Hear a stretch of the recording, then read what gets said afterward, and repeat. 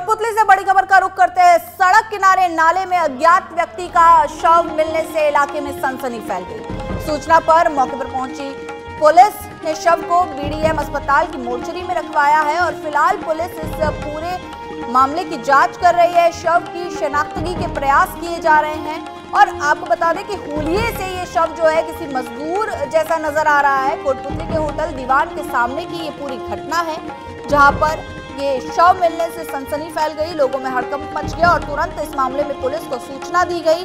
फ़िलहाल पुलिस शव की शिनाख्तगी के प्रयास में जुटी है और शव को बीडीएम अस्पताल की मोर्चरी में रखवा दिया गया है।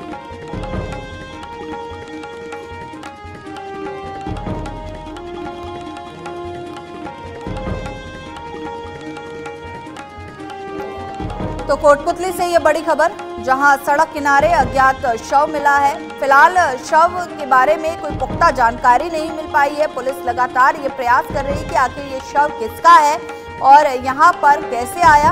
और संदिग्ध शव के बारे में लगातार आसपास के लोगों से भी पूछताछ की जा रही है।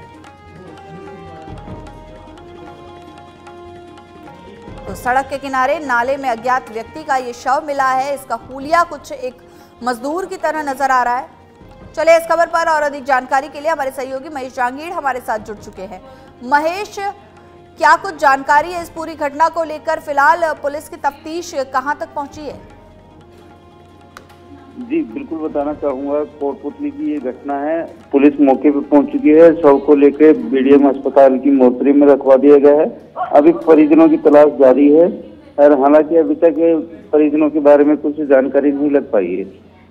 दे, देखने में ये मजदूर की तरह लग रहा है। जी जी शुक्रिया महेश इस तमाम जानकारी के लिए। तो आपको बता दें कि शव मिलने से इलाके में सनसनी का माहौल है और जब इस घटना की सूचना पुलिस को दी गई तो पुलिस मौके पर पहुँची। है फ़िलहाल शव को बीडीएम अस्पताल की मोर्चरी में रखवाया और पुलिस शिनाख्तगी के पूरे प्रयास कर रही है।